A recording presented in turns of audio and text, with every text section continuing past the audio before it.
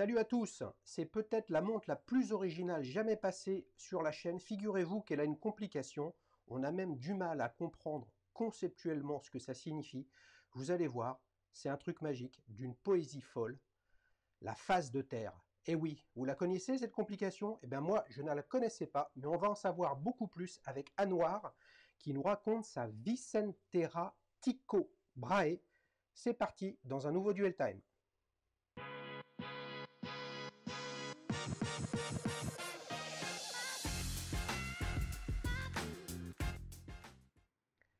Salut Anouar Salut Ça va? Très bien, et toi? Écoute, tu as déjà dû voir des épisodes de Duel Time. Tu sais que je suis toujours très très excité quand je fais ces épisodes de rencontrer des, euh, des francophones, français même. Mais euh, pour le coup, toi, tu es basé en Suisse, comme vous pouvez le voir ici avec le petit, euh, le petit drapeau. Et là, tu vas nous parler d'une d'une montre, d'une marque totalement inconnue, passionnante. Évidemment, je me suis un petit peu renseigné. Euh, au look totalement improbable. Euh, waouh Qu'est-ce qu'elle dit, cette Vicentera? Elle dit beaucoup de choses. Elle dit beaucoup de choses. Euh, je, pourrais, je pourrais, je pense, en parler, en parler des heures, mais, mais on va faire un peu, un peu plus court pour aujourd'hui. Bah, Vicentera, c'est une marque que je suis depuis, depuis enfin, 10 ans quasiment maintenant. Ouais. Depuis 10 ans, sachant que j'ai assisté à, sa, à, son lancement et puis je l'ai suivi sur, sur tout ce parcours-là. Et, euh, j'ai rencontré même son, son, créateur, Vincent Plon, je passe des bonjours au passage s'il nous regarde. Et, euh, et, du coup, c'est une marque à laquelle je me suis attaché, enfin, ce soit point de vue euh, objet, mais, mais univers aussi en fait univers et puis les valeurs qu'elle passe. Donc, en fait, pour, pour, pour un peu résumer cette, cette, naissance de marque. Euh, Vincent Plon, qui était, euh, qui était, qui est pas un horloger à proprement parler, donc il, a travaillé pour l'horlogerie parce qu'il faisait de la conception 3D, etc. Mais, mais c'est, c'est, pas un horloger pur et dur. Ouais. Euh, a voulu lancer son, son, son, propre produit et il a voulu quelque chose d'original qui, n'existait pas sur le marché. Et puis, euh, en fait, il a voulu vraiment quelque chose d'unique sur tous les axes de, son produit, soit commercialisation, distribution, etc. Donc, il a travaillé, euh, il a travaillé sur son premier modèle, qui est la GMT3 euh, tome 1 qu'il avait lancé, en fait il avait remis au bout du jour à l'époque, c'était aux alentours de 2010-2011 il me semble, la, la, souscription de montre, comme l'avait fait Breguet à l'époque, donc euh, Abraham, enfin, Louis Breguet, le Breguet. Euh, donc euh, il avait lancé son premier modèle, le GMT3 tome 1, en 100 exemplaires, au tiers du prix du marché. Ouais. Pour les 100 premiers qui souscrivaient à la montre, pour pouvoir lancer la production. Parce que lui, il avait, fait, il avait conçu le prototype, etc.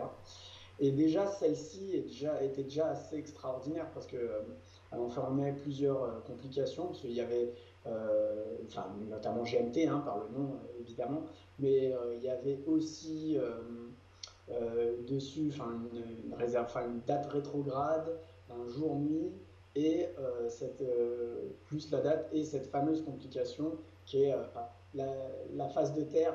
Lui, il la présente comme, comme étant enfin, le, globe rotatif pour le zénith. Euh, donc au prix, enfin à l'époque, je crois que c'était 5000 francs suisses. Donc à l'époque, rapporté euh, à l'euro, ça faisait quelque chose comme 4000 euros, je crois, entre 3008 et 4000 euros. Euh. Ouais. Donc cette phase, cette phase de terre, elle est, elle est un peu centrale dans sa démarche? Ouais. D'accord. En, revenant sur cette, sur cette Vicentera, donc toi, le modèle que tu as, c'est la Tico Brahe tome 2 bleu. Oui. Euh, Tycho Brahe, c'est un, c'est un hommage, ça? Exactement. Ouais. C'est un, hommage à qui? Un horloger euh, hollandais, il me semble. Ouais. Si je ne me trompe pas. Et, euh, et bah, parce que, parce que bah, il a voulu quand même faire ce lien avec la tradition. Oui. tout en restant dans, dans l'univers astronomique, enfin, astronomique et, et de voyage finalement. Je comprends. Je comprends. Et justement, cette, cette complication qu'on va appeler phase de terre, j'ai essayé de comprendre, etc. Mais comme, comme tu as suivi cette histoire, ce lancement, et puis que tu, tu as, tu l'as rencontré le, créateur? Ah oui, bien sûr. Hein. c'est un ami maintenant. Ah bon bah c'est top, c'est top. On le, on le, salue à l'occasion.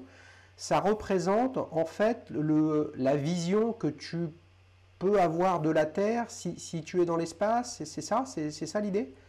Alors l'idée, c'est, euh, enfin je sais pas si on, je, vais peut-être la, montrer, ce sera plus parlant. Ouais. alors je sais pas si on va bien voir. Ah. Vas-y, vas-y. En fait, ouais, pas, pas, trop près. Là, on voit plus ton visage. Voilà, décale là. Voilà, très bien. Parfait. Ouais. Très bien. Alors là, il y a le, petit V justement qu'on voit qui est, qui est, le V de, de Vicentera. Ouais. Et euh, sur cette pointe, euh, en fait, on, va avoir le zénith à, l'heure, euh, enfin à notre heure locale, où le zénith se trouve sur le globe. D'accord, ok. Donc c'est ça la, complication, et, et, du coup, ça permet de savoir où se trouve le zénith à un instant T. Je comprends, je comprends. Ok. Et donc tu as deux petits indicateurs, 6 heures du matin, 6 heures du soir. Alors oui, ça, ça, ça, ça, indique exactement le oui, parce que, attends, pour les, euh, les, amis astronomes, euh, eux, ils savent, moi, je suis ni astronome, ni horloger, ni scientifique, mais si je ne me trompe pas, euh, le zénith, en fait, c'est le moment à un endroit sur le globe où le, le, le, jour et la nuit sont divisés en deux tronçons égaux de 12 heures. Exactement, c'est le midi solaire. c'est le, le, midi solaire, ok. Donc là, si tu nous remontres euh, ta montre, donc là, elle est réglée à, euh, à euh, on va dire, 10 heures du matin, heure suisse, hein, donc UTC plus 1 ou GMT plus 2. Et là, le zénith, il est où alors? Si tu regardes ta montre, il est où, le zénith, sur le globe? On regarde, est, il est, il est entre entre l'Inde et la péninsule arabique. Bon, ok, euh, ok. On n'est pas sûr que Awar soit très fort en géographie parce que entre l'Inde et la péninsule arabique, il y a quand même une trotte. Mais c'est vrai que. Hein, ah, mais c'est très très sympa. Puisque tu le connais, euh, euh, le, fondateur, c'est Plon, hein, c'est ça son nom de famille? Oui, exactement. Et son prénom, c'est? Vincent. Vincent. Qu'est-ce qui, qu'est-ce qui, pour toi, l'a amené à euh, imaginer euh, euh, cette, cette complication? Parce qu'elle est, elle est d'une poésie folle, elle est d'une inutilité quand même remarquable, et plus c'est inutile et une complication, plus c'est désirable. Hein? Ouais. Qu'est-ce qui explique ça? C'est un fan d'astronomie? Euh, c'est pas un fan d'astronomie, je dirais plutôt que c'est un fan de, de, voyage et de rencontres. Ouais. Euh, que ce soit, enfin, toute, forme de voyage d'ailleurs. Il avait fait un modèle euh, également pour le Vendée Globe où, où il avait remplacé enfin, le, V de Vicentera par, par un voilier. Enfin, voilà, donc tout ce qui touche au voyage, que ce soit d'un point de vue de l'esprit ou physique, oui. Euh, je pense que ça l'intéresse. C'est quelqu'un qui aime beaucoup bouger, oui. qui aime beaucoup aller à la rencontre des gens. Et je pense que c'est euh, d'où euh, justement cette vue un peu, un peu globale. Et d'ailleurs, pour, pour info, si, si on regarde en fait dans le fond, alors je ne sais pas si on va bien voir, mais il, y a, également ici, enfin, on va avoir ici une glace saphir qui va permettre de voir le globe de l'autre côté, ouais. et, et, où il est inscrit à l'autre bout du monde. Ok. Ok. Voilà, c'est un peu la, sa philosophie. Euh, euh, D'où, euh, je pense que ouais, le Terra vient de là, hein. Vincent, Terra. Ouais. Où est-ce qu'il est, euh, où est, qu'il est installé, Vincent, en, Suisse? Dans le Jura suisse. Ok. Il est dans le Jura suisse et il, a, il travaille beaucoup en fait avec les, les artisans locaux. Et d'ailleurs, en fait, contrairement à beaucoup d'autres montres, lui, il a apposé sur, euh, sur la marque euh, en dessous euh, Jura Suisse, en hommage à sa région. C'est vrai. Et à son canton. Et, et il, a, il a, je crois que c'est 90% de, la, montre qui a, été produit dans cette région-là. Oh là là, tu veux dire qu'elle, tu veux dire qu'elle a le label Juramed? Elle a le label Juramed. D'ailleurs, d'ailleurs, c'est ce qui m'avait aussi attiré, parce que je savais d'où provenaient euh, les pièces. Ouais. Et euh, je me rappelle, pour, pour, pour anecdote à l'époque, parce que j'étais à l'époque, je, travaillais pour, pour une, une imprimerie. Mmh. Et, et je lui avais proposé de, de, lui faire, enfin c'était en France, à Paris, je lui avais proposé de, de faire imprimer ces, ces, ces, ces modes d'emploi là-bas avec des coûts réduits et il avait refusé parce qu'il tenait vraiment à, produire sur place. Ah, c'est intéressant ça comme, euh, comme démarche. Donc un véritable, ça, c'est à la fois un voyageur euh, en tant que en tant qu'aventurier, l'envie de se déplacer, de, de, soutenir des initiatives d'aventuriers, tu parlais de la voile tout à l'heure, et puis finalement un, un, vrai euh, local qui veut euh, valoriser euh, l'artisanat de, de sa région. ouais, alors c'est intéressant parce que c'est c'est en fonction de comment on regarde les choses, c'est soit contradictoire, soit complémentaire. Tu vois hein C'est vraiment un truc, un truc intéressant. Quel est le, pour toi l'adjectif qui décrit le mieux cette Vicentera alors, j'y ai réfléchi et euh, ce qui me vient, enfin, ce qui m'est venu en fait euh, à, l'esprit en mmh. premier, c'était remarquable. Euh, remarquable dans le sens la, la, la, prestation et puis et puis ce qu'elle renvoie. Et remarquable aussi parce qu'on la remarque. En fait, à chaque fois que je la porte, que je sois travail ou autre, les gens la remarquent. C'est une montre qui, qui attire l'œil. Et puis ils sont intrigués, puisqu'il y a ce globe, etc., le, cadran décentré, etc. Ils se disent, mais, qu'est-ce que c'est? Et puis, euh, et puis même, lorsque je l'ai montré à, certaines personnes qui étaient euh, des initiés de l'horlogerie, hein, ils n'arrivaient pas à positionner le modèle, en fait. Et puis, euh, et puis eux, ils se disaient que, bah, du coup, ils se disaient, ah oui, mais c'est de la même catégorie que Grebel Forcef, enfin, c'est d'où justement le remarquable, c'est-à-dire que trouve pour euh, le rapport qualité-prix et prestation, euh, enfin, je crois que j'ai jamais vu de ouais. Euh, ouais, c'est une, c'est une série limitée, celle-ci également à noir. Hein 100 exemplaires. Ouais, ouais, ouais. Alors je l'ai noté là sur le petit doc que tout le monde peut voir à 99 exemplaires. Je ne sais pas si c'est si c'est 99 ou 100. toi, tu as choisi ton numéro? Alors j'ai choisi entre ceux qui restaient. Ouais. Euh, entre ceux qui restaient, il n'en restait pas, il en restait pas des, des, masses. Et moi, j'ai le 41. pour information, euh, euh, c'est un numéro qui me suit un peu, un, peu partout. C'est-à-dire que à trois reprises, lorsque j'ai déménagé, le numéro de ma porte, c'était 41. Est-ce que tu as remarqué que c'était aussi l'indicatif de la Suisse? Oui, ah, ça, par contre, j'ai pas remarqué.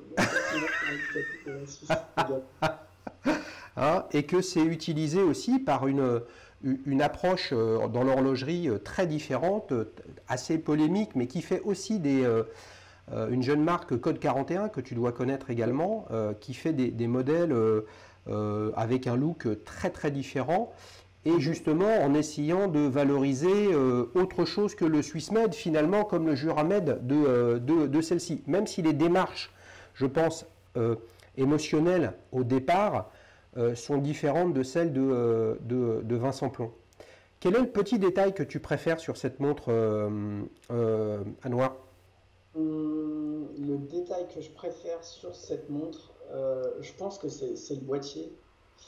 Euh, et, justement, enfin, sa, forme assez particulière, parce que c'est une boîte ronde, mais, euh, mais lorsqu'on regarde en fait sur le côté, ouais. ici on peut avoir un sillon. Euh, Attends, bouge pas, je te, je te, mets en plein écran, vas-y. Alors, je sais pas si on voit très bien, mais là, ici, on, on va voir ici un, un, sillon qui va, qui va être creusé, sachant que ce boîtier a été, en fait, il a été taillé dans la masse, dans le titane. Donc, c'est pas un, un, boîtier composé, ouais. un boîtier qui a été usiné dans la masse. Ouais. Et, euh, et, je trouve que ça, ça, ça, ça, donne du volume.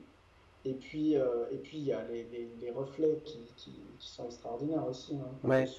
Il y a, y a, des, il y a des, euh, il y a des anses aussi qui, ont, qui sont très originales. Elles sont, elles sont assez imposantes avec un, avec un biseau très prononcé. Hum. et, et dis-moi si je me trompe, on a le sentiment qu'elles sont ça peut donner le sentiment qu'elles sont un peu asymétriques, à savoir euh, côté 12 heures, elles sont plus, plus, plus imposantes qu'à 6 heures C'est un effet visuel ou Effet optique, je pense que c'est dû au fait du, cadran décentré qui donne cette impression. Ouais, ok. ok. Mais, mais non, je, Ok confirme qu'elles sont bien Ça marche, ça marche. J'ai préparé une fiche technique complète euh, mhm. sur, cette montre. Euh, il y a un truc qui m'a surpris et j'aimerais que tu nous, nous en parles un petit peu. Euh, sur le site de la marque, je, l'ai identifié en 11,7 mm d'épaisseur. Mhm. Et je me suis dit, waouh, c'est super fin. Et pour autant, il arrive à mettre un globe, donc une sphère, à l'intérieur du mouvement, à l'intérieur de la boîte. Donc elle, fait, elle fait bien 11,7 elle fait bien 11,7, ouais. Ok, ok, c'est vraiment. Euh... Non, ça, le globe, je crois, il fait 7 euh, mm, il me semble.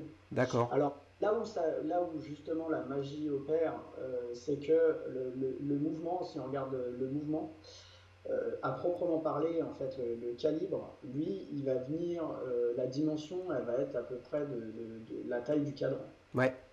Donc pour le reste, ça crée de l'espace justement pour, pour inclure euh, le globe avec le, mécanisme de rotation du globe qui, est, qui, relié au globe. Et après, euh, tout ce qu'on a en espace restant, ça va être de la décoration finalement. Ouais, ouais mais donc ce que j'ai compris, c'est qu'il était parti d'un, il était parti d'une base euh, ETA 2892. Hein, en finition, finition top, hein. donc je crois que c'est la finition la plus élevée des trois euh, euh, chez ETA pour ce, calibre-là. Et après, euh, est-ce que tu sais comment il s'y est pris? C'est une démarche personnelle Il a travaillé avec des partenaires pour, pour plugger cette, cette complication?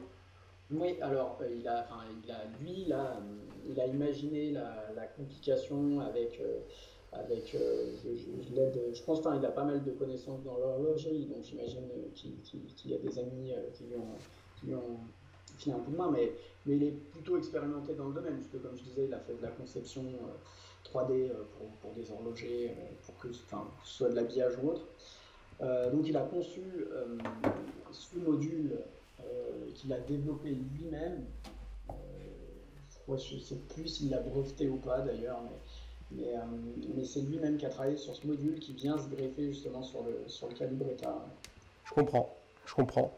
C'est extrêmement original à tout point de vue et euh, j'ai remarqué, alors je ne sais pas si c'est une bonne remarque en tout cas, mais visuellement j'ai l'impression qu'il y a le V de Vincent à l'intérieur de ces aiguilles euh, qu'on va qualifier euh, d'alpha, on va dire alpha squeletté, et dedans c'est un V, c'est son V à lui, ça? Alors c'est, enfin oui, il y a, sur, le, sur le modèle il y a pas mal de, références justement au V. Hein. Enfin, il y a le D'ailleurs, enfin, le, logo, il a aussi d'autres significations. C'est un, mélange de tout. Il y a de l'alpha, du V. Enfin, j'invite à aller voir sur le site, je crois que c'est expliqué, mais, mais, on retrouve sur les aiguilles. Et d'ailleurs, enfin, je trouve que l'aiguille des secondes est aussi euh, très particulière. C'est ça que j'ai aimé. Alors, je sais pas si on la voit bien. Ouais, ouais, on la voit bien, ouais. ouais, ouais. Et, euh, et puis, on, on, va avoir euh, justement sur ces aiguilles de euh, le V qu'on va retrouver ici à jouer et également bah, le V qui, vient, euh, vient sur le globe. Ouais, je comprends. Euh, il y a donc une couronne à 14 heures, on va dire, et un, bouton poussoir à 16 heures. Est-ce que tu peux nous dire un peu comment ça fonctionne tout ça, puisque tu dois forcément pouvoir débrayer le réglage de l'heure avec le zénith? Alors, justement, euh, ce qu'on a en fait, enfin, le, tout est lié. C'est-à-dire que là, si, si, euh, si ce qu'on va retrouver ici, ça va être pour, le, pour la mise à l'heure et puis euh, pour le, si on veut remonter de manière manuelle avant de la relancer. Ouais. Donc ici, et puis lorsque vous allez justement remonter, alors je vais, le faire comme ça, on va le voir ensemble. Vous allez voir que le globe, il va aussi tourner. Alors, je sais pas si on voit bien l'écran du coup. Ouais, ouais, on voit, ouais. Là, tu es, là, là, es ouais, ouais. Et puis après, si jamais, il y a le, bouton poussoir ici qui permet également, à la, de manière manuelle, lorsque la montre est en fonctionnement, de pouvoir modifier la position du globe. Ouais, mais là, tu connais la question fatidique que je vais te poser, euh, à Noir. C'est, euh, euh, tu as cette montre, tu pars à l'étranger, tu te retrouves aux États-Unis, côte ouest, 9 heures de décalage. Bon, tu, tu, changes l'heure sur ta montre, mais le zénith, lui, il s'en fout que tu aies voyagé. Donc, comment tu sais l'heure zénith? Euh, Moi, je ne le sais pas. Ah Non, mais euh, comme tu le disais au départ, hein, c'est pas une, fonction d'utilité. C'est une fonction de, rêve. Alors, ouais, mais pour autant, pour, autant, je, pour autant, je suis sûr que c'est une information qui se trouve et que, si, et, que, et, que, et, que, et que mécaniquement, tu peux la régler ta montre. Et après, une fois que, on va dire, c'est enclenché, c'est-à-dire que tu as repoussé le, euh, la couronne, elle est vissée cette couronne? La couronne, euh, elle est vissée, euh, à Non, non, elle n'est pas vissée, la couronne n'est pas vissée. D'accord. Ouais, donc une fois que tu, repousses la, couronne, eh bien, tu, tu, as le mécanisme avec eh bien, le, son fonctionnement heure, minute, seconde, date qui est calé ou inversement avec, avec la phase de terre. Oui. C'est très sympa tout ça. Euh, tu as dessus un bracelet, euh, bracelet en croco. Voilà. Alors, ouais, ce, bracelet n'est pas euh, l'original. C'est un ah. bracelet que j'ai fait faire, que j'ai fait faire par un gars qui s'appelle Albert Villa, qui est, en Roumanie. Donc c'est fait, fait, main. c'est du pied d'autruche. Celui que tu as, c'est du pied d'autruche?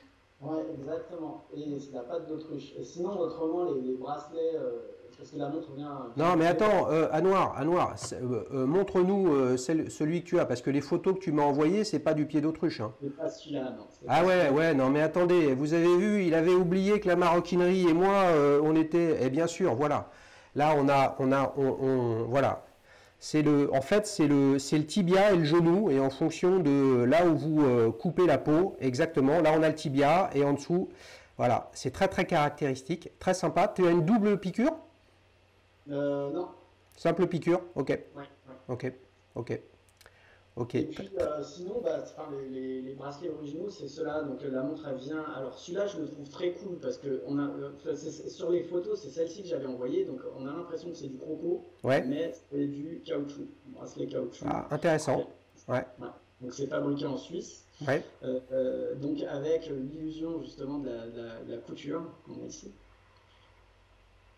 Donc ça plutôt, plutôt pour l'été. Et puis elle vient également avec, euh, bah, avec un bracelet en cuir, euh, toujours à l'effigie de la marque, avec euh, bah, justement le, le, système de, de, changement rapide ici. Ouais, ouais, je comprends, je comprends, je comprends. Bon, petite remarque là-dessus, il faudra dire à Vincent, si tu nous écoutes, je veux dire, cette montre, elle est tellement remarquable. Pour le coup, je suis d'accord avec toi. Ça, ça ressemble à rien d'autre. C'est poétique. Ça a l'air très très bien fini. Il y a, il y a du, il y a, des traits, il y a, des, il y a du brossé en, en traits tirés comme ça sur une partie du cadran, etc. Mais là, il y a euh, une, euh, une boucle, bon, qui est, qui, qui, est, pas mal en termes de forme euh, au niveau de la, de la vis hein, qui tient l'ardillon. mais c'est, c'est, il s'est quand même pas foulé Vincent quoi là-dessus. Hein. tu pourras lui dire, tu pourras lui dire qui, je pense qu'il y a moyen de faire quelque chose euh, qui va un peu plus quand même dans l'ADN euh, de, la montre. Mais bon, ça, ça n'a aucune importance puisque c'est pas ma montre, c'est la tienne. Tu vois bien. Donc euh, voilà, c'est toi qui sais pourquoi elle te plaît, etc., etc. on n'en a pas du tout parlé. tu l'as évoqué à un moment. combien ça coûte une Vicentera comme ça, Tico Brahe? Aux alentours de 4200 francs suisses hors taxe. Ouais. Ok. ok. Pour les amis euh, francophones de la planète entière euh, qui n'habitent pas en Suisse, euh, hors taxe en Suisse, ça veut dire quoi? Il y a, il y a, il y a une, il y a, En Suisse, la, la TVA, c'est 7,5%. 7,5%. Ok. Donc tous les tarifs en Suisse. 7,7 et donc. ok. Ok. Ça... Le français sera un peu plus. Ah oui, que voulez-vous euh, On ne peut pas être très fort dans beaucoup de domaines. Nous, on est assez fort quand même sur la partie euh, fiscale et taxes, mais ça fait partie du charme du pays. Euh, les amis, on va enchaîner sur la deuxième partie de ce, duel time. Alors là, à Noir, je dois reconnaître que c'était pas facile parce que je me suis dit, il faut que j'essaye de trouver quatre alternatives avec des complications phase de terre. Donc autant dire que j'ai fait chou blanc. Donc, donc je suis allé sur euh, une autre mécanique qui, parle un peu plus aux autres. J'espère qu'elle te plaira et qu'elle plaira à tout le monde. Donc vous avez compris, l'idée c'est, je vais vous présenter quatre montres euh, alternatives à cette Vicentera euh, à Anouar. Et euh, Anouar, il va devoir nous expliquer ce qui lui plaît ou pas, noter chaque modèle de 0 euh, à 10 et puis voter pour son modèle préféré. Et vous, les abonnés, si vous n'êtes pas abonné, c'est le moment de le faire, vous pourrez voter via l'onglet communauté sur votre modèle préféré parmi les 5, dont la Vicentera de, de Vincent. Le thème de ce, de ce vote aujourd'hui, ce sont les cadrans décentrés. Donc pas des boîtiers asymétriques, mais des cadrans décentrés euh, où il n'y a pas euh, le pignon central euh, qui tient les aiguilles heure, minute, seconde, s'il y a des secondes, au centre de la montre, mais c'est décentré. D'accord? Est-ce que tu es prêt pour la première alternative? Oui. On enchaîne avec une Harry Winston. Première fois qu'on voit cette marque sur la chaîne. Project Z11 un boîtier en Zalium, un alliage euh, breveté chez Harry Winston et avec un euh, cadran asymétrique. Qu'en penses-tu? Alors oui, je, connais, un peu Harry Winston, donc euh, c'est des montres qui me parlent. ceci dit, c'est pas ce qui me botte le plus. Alors ce que j'aime, enfin la montre en soi est, est plutôt originale. J'aime beaucoup la grande date. Ouais. Euh, ceci dit, euh, après, il n'y a, pas, y a, pas le, a pas le coup de cœur. Elle est trop bestiale pour toi? euh, Ouais, un peu trop forte. Et puis, et puis enfin, même le, le, sur, le, sur le. Je trouve que la lisibilité est un peu, un peu dure aussi. Bon, il y, a, y a un petit truc qui te plaît à part la grande date? Il y a. Ouais, il y a, y a enfin, le boîtier est, cool aussi, le boîtier est pas mal. J'aime beaucoup. Et mm. puis euh, j'aime beaucoup aussi euh, justement le. On retrouve sur, le remontoir. Et puis, euh, et puis c'est des poussoirs qu'on a sur les côtés. Alors ça, je sais pas, ouais, ça semble être des poussoirs. Alors à quoi servent-ils J'en sais rien non plus. Peut-être des changements de date rapide, avant, arrière. Ce que je trouve intéressant dans cette montre, c'est le travail, euh, le travail des. Euh, alors c'est pas des côtes de Genève parce qu'elles sont, euh, elles sont, elles, sont pas en, ligne comme ça, etc. Là, ça, fait un peu soleillé. voilà. Après, c'est bon. Il y a cette sorte de toile d'araignée qui, est un peu compliquée. mais tu as quand même un boîtier qui est, qui est, très très original dans sa, dans sa forme. Euh, moi, je trouve que c'est pas ce qu'on attend de chez Harry Winston. Tu vois, qui est plutôt, tu vois En fait, ouais, exact. Mais j'ai connu la transition d'Harry Winston quand ils sont passés justement dans cette étape euh, un peu, euh, un peu horloger indépendant avec des montres un peu fortes. Et ça avait été initié par Maximilien Bousser de MBNF à l'époque, qui était directeur général d'Harry Winston. Et c'est là où justement il a lancé ces euh, ce type de, de, modèle à complication, avait des, montres complètement folles. Mais pour le coup, chez Harley Winston, j'irais sur, sur des choses un peu plus folles. D'accord. Je trouve que c'est trop gentil euh, chez eux, enfin, un petit modèle. Ouais. Combien tu lui mets de 0 à 10 euh, à noir alors, je, mettrais, je mettrais quand même un, un, 8 parce que, parce que ça reste quand même du beau travail. Je ne vais pas le dénigrer, hein, c'est pas c'est pas une, montre, euh, c'est pas une montre d'accroche entre guillemets. C'est travaillé, c'est propre, c'est du, du, joli travail. Donc, euh, donc je mettrais au Ça marche. Ça marche. On donc on a démarré avec cet Harry Winston en, en Zalium avec un 8 euh, sur 10. On enchaîne sur la seconde. Et là, tu as une Maurice Lacroix Masterpiece Gravity 40e anniversaire.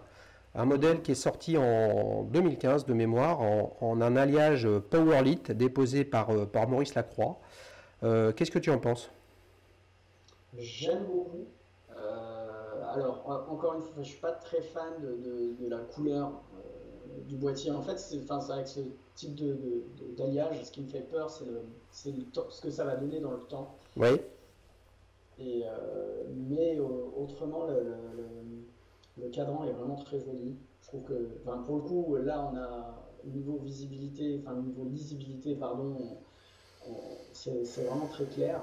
Après, je me pose aussi la question de, euh, ce qu'il en est du, balancier. Alors, parce que ça dépend de, je crois qu'il doit tourner, je pense, à 28 000 euh, alternances.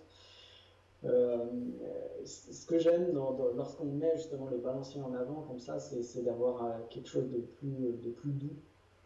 Alors je sais qu'il y a certaines marques qui ont des balanciers plus, plus larges et du coup on voit beaucoup plus le mouvement.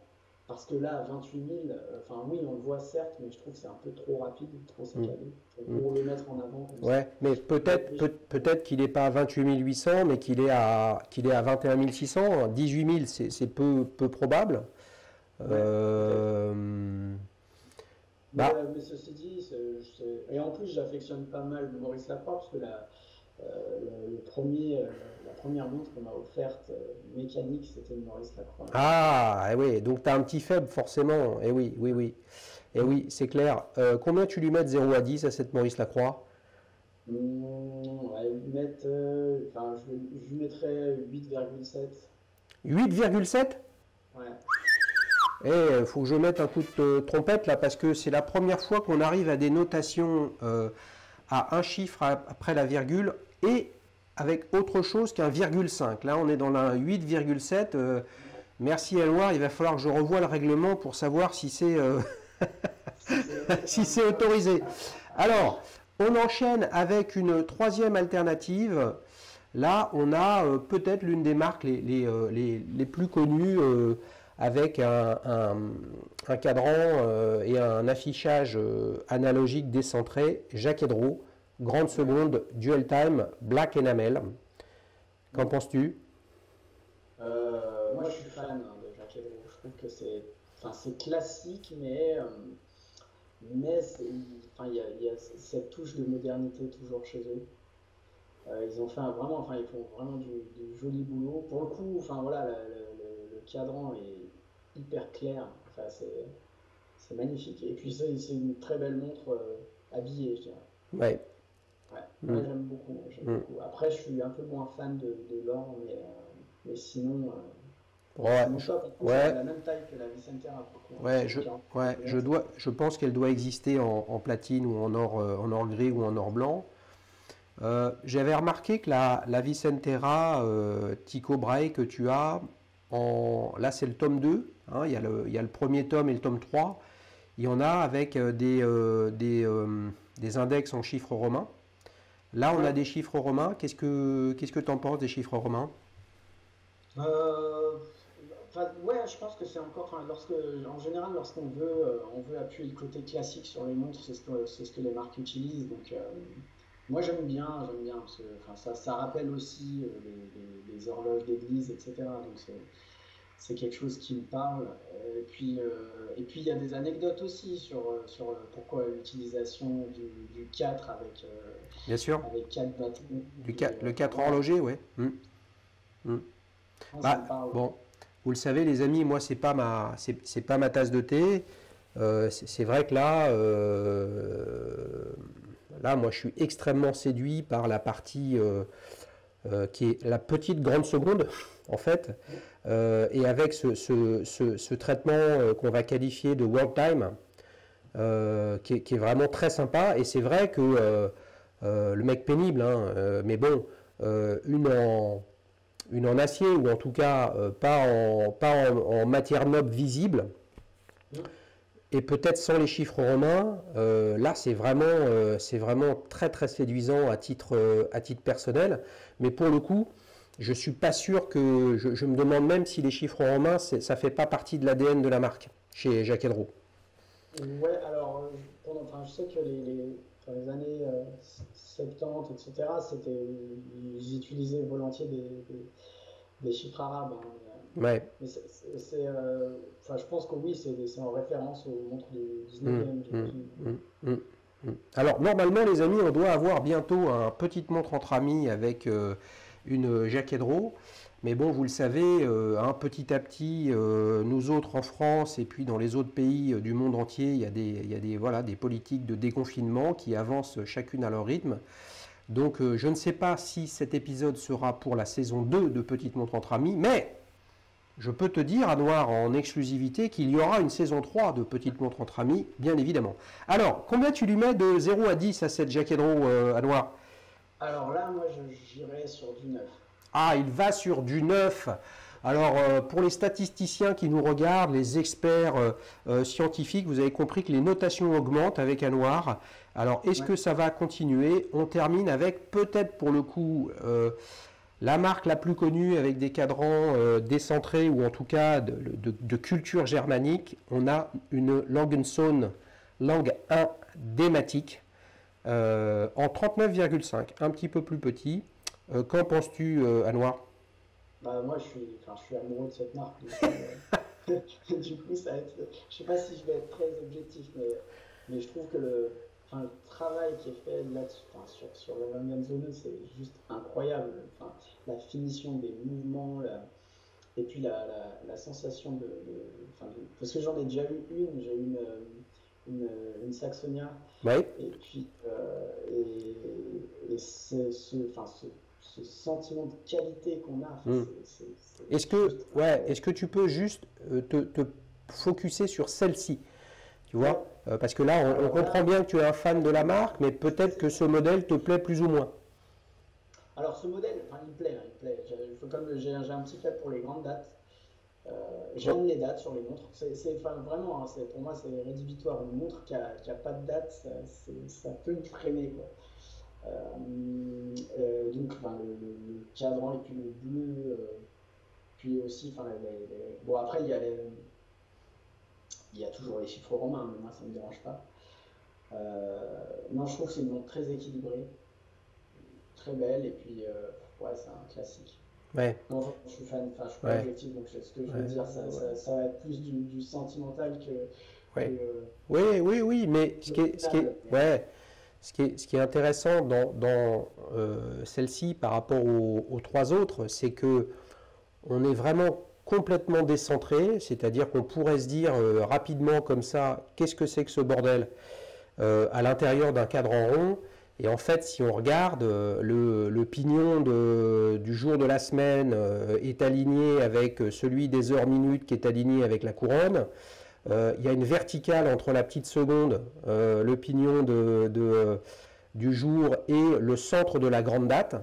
Euh, il y, a une géométrie, euh, il y, a des verticales et des horizontales là-dedans extrêmement bien organisées à l'intérieur d'un cercle. Donc effectivement, c'est euh, d'une esthétique quand même intéressante, tout en ayant des choses complètement déséquilibrées. On voit la, on voit le Halangenson qui est, on va dire, complètement la verticale sur le cercle, alors que je ne vais pas le dire en allemand, mais euh, Wochentag automatique, lui, est euh, plus équilibré sur les deux, les, deux cadrans, le petit cadran des secondes et, des heures minutes.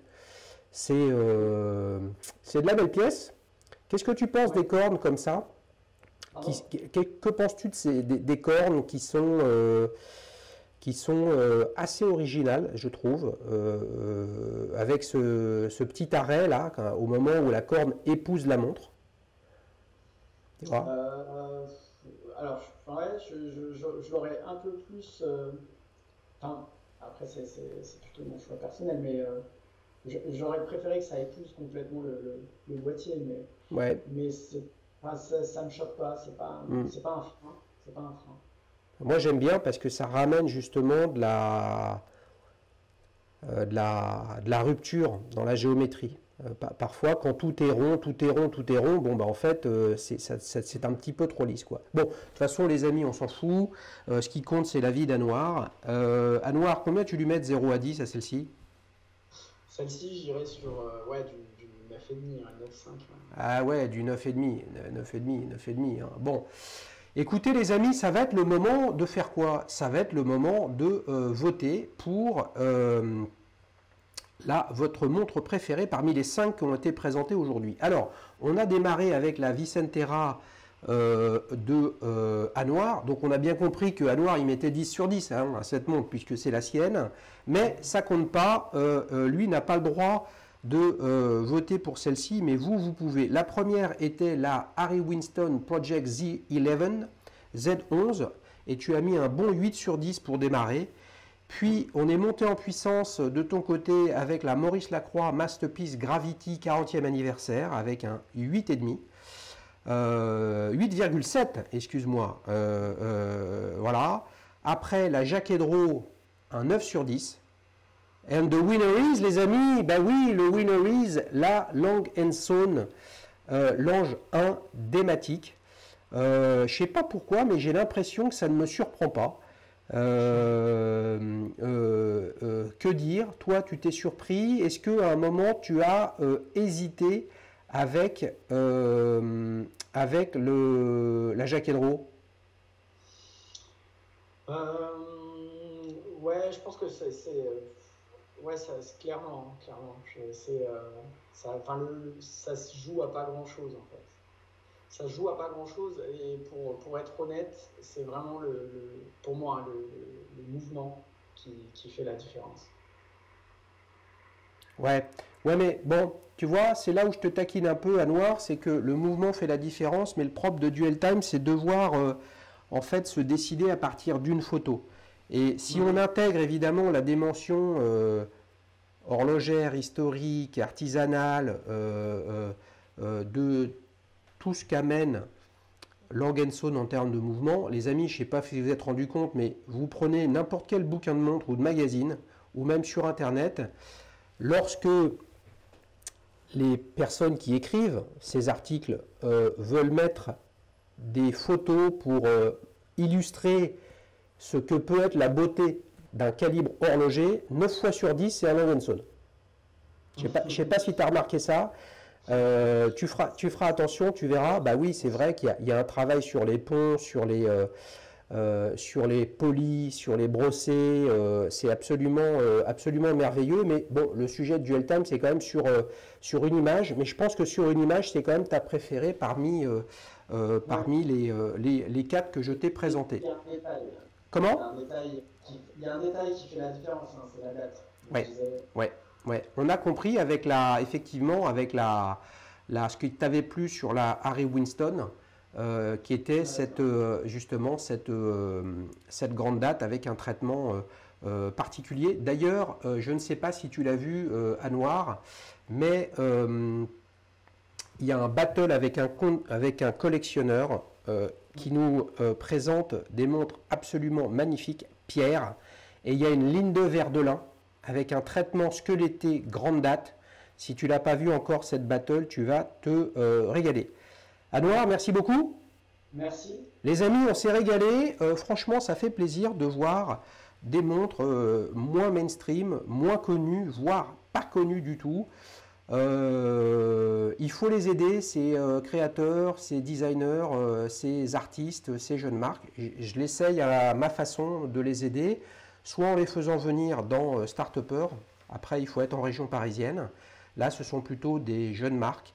alors je pense qu'avec euh, Vicentera et Vincent Plon, on a on est un combo entre la jeune marque d'un designer de métier euh, combiné avec de l'horlogerie artisanale.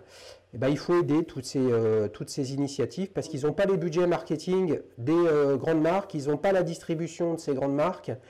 Et c'est quand même tout ça qui nous fait rêver parce que ce monde ultime euh, infini avec euh, des formes, des looks, des complications qui servent à rien si ce n'est à nous euh, émouvoir. Et c'est quand même ça qui compte dans l'horlogerie. À noir, merci beaucoup. Les amis, à bientôt, ciao ciao. Salut, ciao